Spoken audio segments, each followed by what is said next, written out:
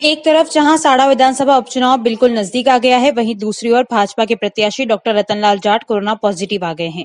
भाजपा पहले ही अपने अंदरूनी कारणों से जूझ रही थी, अब डॉक्टर रतनलाल जाट के कोरोना पॉजिटिव आ जाने के कारण उनकी चिंता और भी बढ़ गई है। मिली जानकारी के अनुसार डॉक्टर रतनलाल जाट को जयपुर रेफर किया गया है।